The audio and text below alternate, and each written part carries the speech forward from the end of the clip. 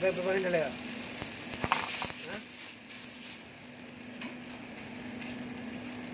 Black pepper नहीं डलेगा।